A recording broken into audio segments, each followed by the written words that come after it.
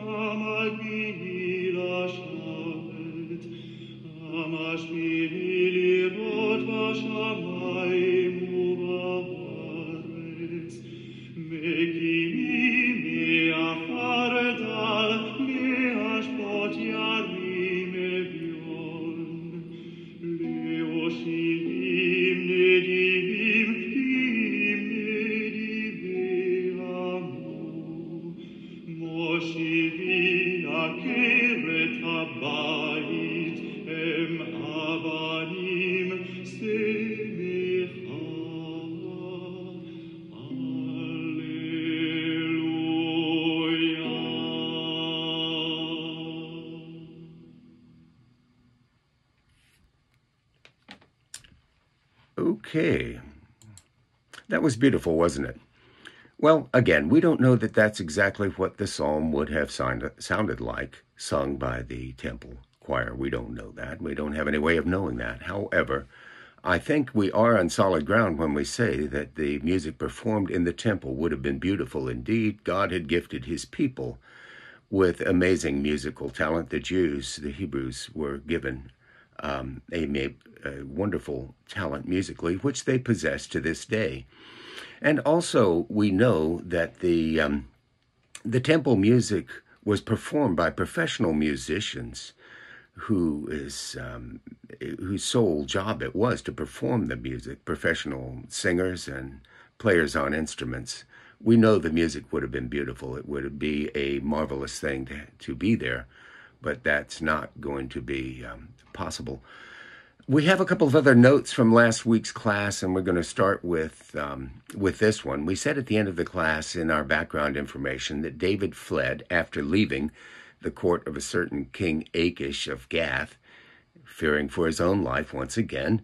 He left that um, the Philistine king and went to the cave of Adullam, and there he was joined by his brothers and his father's household from Bethlehem, because apparently they had caught wind that their lives would also be in danger, being the family of David. And that, that makes a lot of sense, I suppose, to them. Also, there were other dis- distressed and discontented people who gathered around him there as their leader. There were some 400 in total. So, the the thing I wanted to point out was about this group of people. It was not at all uncommon in the ancient Near East for such bands of malcontents and other social misfits, if that's what you want to characterize these people as, David's band of merry men, social misfits. Apparently, this was not at all uncommon in the ancient Near East and were often elsewhere known as Hapiru. Hapiru. What does that sound like? Hapiru. Well, this term Hapiru has also been associated with the term Hebrew. I'll read a little bit of a definition here. Hapiru and Habiru, a people known as Habiru or Hapiru, appear in cuneiform text dated from the, the 20th to the 18th centuries BC. In Egyptian texts, they are called Yapiru or Apiru. And uh, many scholars note the similarity of these forms with the Hebrew Ibri and conclude that the Habiru or Hapiru are identical with the biblical Hebrews. So that the uh, the biblical Hebrews then would have derived their name from something like a wandering group or band, or um, you know something along those lines. The term was also apparently other u- also used for smaller bands of groups or, or rootless people who um, wandered.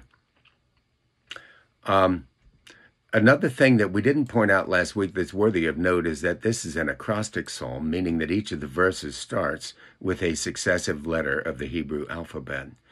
You don't see it in the English translation, excuse me, but it is there for, for one thing, it was an aid to memorizing and reciting the Psalms. So if this were done or if it carried through over into the English translation, you'd have verse 1 starting with A, verse 2 starting with B, verse 3 starting with C, verse 4 starting with the letter D, and, and right down through the alphabet.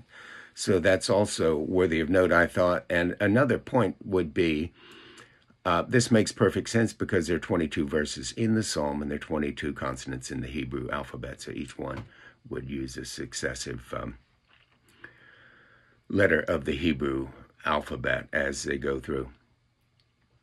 Okay, let's see if there's anything we had left from last week. I'm sure there's plenty. Again, though, if you have any questions or comments, complaints, well, let's leave it at let's leave it at comments. Um, eh, you know, don't hesitate to get in touch with me, and we'll try to answer those. Let's see here. Oh, yeah, something of the structure of the psalm. We also have to say a word about the structure of the psalm. If you open your copy of the scriptures to Psalm 34, and you're going to see there's there are three sections. In verses 1 through 7, there is an individual's thanksgiving section. And you know it's an individual section because he, he uses the first person pronouns. That is, this um, this this psalm then, when performed in a public setting, say in the temple um, religious ceremony, for example, worship ceremony, um, the reader of the psalm, if it were being read, and it might be sung also, um, he would sp- speak to the audience. And in the first person, say with verse 1 in the NIV, I will extol the Lord at all times. His praise will always be on my lips. And this is the first seven verses here where the individual is speaking to his audience or the reader or the listener in the first person. And then in the uh, the second portion of the psalm, which is verses 18 through eh, I'm sorry, 8 through 14, we find that imperatives dominate, and this is a this is a section of exhortation. In other words, the psalmist or the speaker or the singer is exhorting the audience, the listeners, the readers, the hearers, to do something. If you turn to uh, like verse 8 and verse 9, taste and see that the Lord is good. Then verse 9, fear the Lord, you his saints. So here, the speaker, the singer, is exhorting his audience or his readership or his listeners to do something.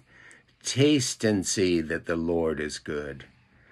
Fear the Lord, you his saints. And then if you drop down to verses 15 through 22, this is a this is a, a section of praise or instruction which has similarities to the praise literature where a person is pass, passes along to others the accumulated wisdom of his life. And these verses are all statements, wisdom statements for people to gain um, wisdom from. Take, for example, Verse 16 The face of the Lord is against those who do evil. Verse 18 The Lord is close to the brokenhearted. Verse verse 19 A righteous man may have many troubles, but the Lord delivers him from them all.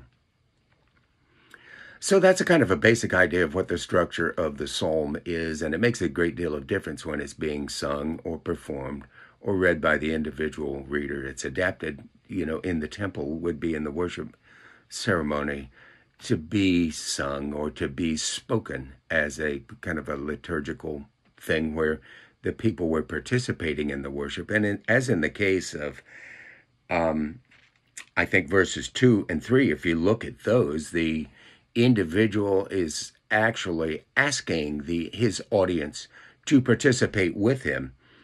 He says in verse three, Glorify the Lord with me. Let us exalt his name forever. So if you take careful note of the pronouns, you will find that um, the psalm involves the participation of the listeners, the readers, the worshipers, the hearers. So I think that that's also worthy of note before we really get started to, um, you know, looking at the verses of the uh, the psalm one by one.